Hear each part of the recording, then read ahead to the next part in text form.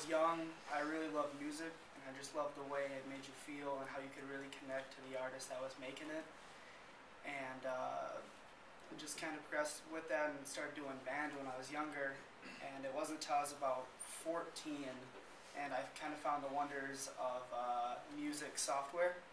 And I was able to do some music production, and I kind of look, started looking at behind the scenes and how people master tracks, like all the way from rock to uh, electric music, and even like modern trap music for rap and stuff like that. I've been making that for uh, probably six years now, and it's been getting a lot better. And just recently, I've been um, I've been working with a couple artists here, even at Spearfish, and we've been trying to maybe get together an album.